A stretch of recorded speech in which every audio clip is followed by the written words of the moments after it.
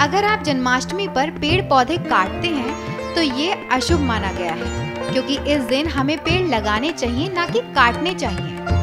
हमारे घर परिवार में जितने सदस्य हैं, सभी को पेड़ लगाने चाहिए। इससे घर परिवार में सुख शांति आती है, और सभी सदस्य अपना जीवन सुख पूर्वक व्यतीत भी करते हैं। क्योंकि भगवान श्री कृष्ण ने महाभारत के आठवें अध्याय में खुद कहा है कि वो हर चीज़ में वास करते हैं, और हर चीज़ उनमें वास करती है। इसीलिए जन्माष्टमी पर किसी भी चीज़ को नुकसान पहुँचाने का विचार आप अपने मन से निकाल दीजिए।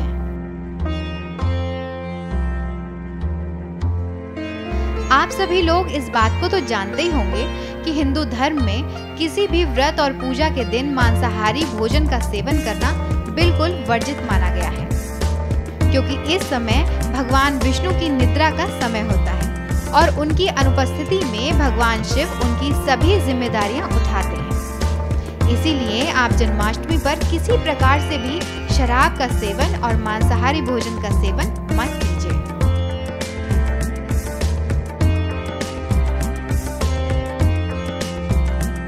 जन्माष्टमी के त्योहार पर ब्रह्मचर्य का पालन करना बहुत ही आवश्यक है। इस दिन भगवान की पूजा पवित्र मन से और पवित्र तन से करनी चाहिए।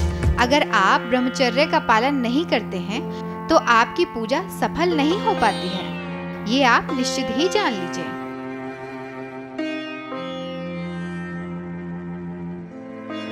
आप भूलकर भी जन्माष्टमी पर तुलसी के पत्ते मत तोड़िए, क्योंकि तुलसी भगवान विष्णु को बहुत प्रिय है। ऐसा कहा जाता है कि माँ तुलसी विष्णु भगवान से विवाह करना चाहती थी। वो विष्णु को पति के रूप में प्राप्त करना चाहती थी। जिसके लिए तुलसी ने कठोर तपस्या भी की थी। और तुलसी के पत्ते विष्णु की पूजा में भी अर्पित किए जाते हैं। इसीलिए आप तुलसी के पत्ते एक दिन पहले भले ही तोड़ लीजिए, लेकिन जन्माष्टमी के दिन इन्हें मत तोड़िए। और तुलसी के पत्ते विष्णु की पूजा में भी अर्पित किए जाते हैं। इसीलिए आप तुलसी के पत्ते एक दिन पहले भले ही तोड़ लीजिए, लेकिन जन्माष्टमी के दिन इन्हें मत तोड़िए।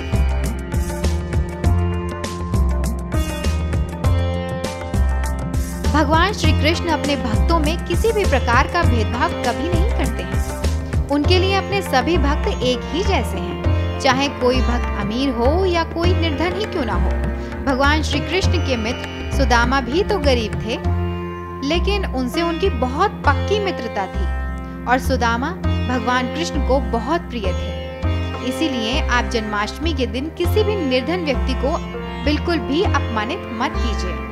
क्योंकि इससे श्री कृष्ण नाराज़ हो सकते हैं।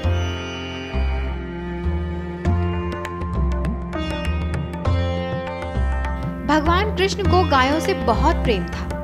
आप लोगों ने ज़्यादातर उनकी तस्वीरों में देखा भी होगा कि वो गाय के साथ ही खेलते हुए नज़र आते हैं। ये इस बात का साक्षी है कि भगवान कृष्ण गायों से बहुत प्रेम करते थे और उनके कितने करीब थे। ऐसा माना जाता है कि जो भी व्यक्ति गाय की पूजा करता है, उसको भगवान कृष्ण की कृपा अवश्य ही प्राप्त होती है। इसके अलावा जो व्यक्ति गाय का अपमान करता है, उसको भगवान श्री कृष्ण की कृपा बिल्कुल भी प्राप्त नहीं होती और भगवान उसे कभी माफ़ नहीं करते। इसीलिए आप जन्माष्टमी के दिन गौशाला में दान कीजिए, लेकिन गाय का अनादर मत कीजिए। गायों की सेवा कीजिए। इस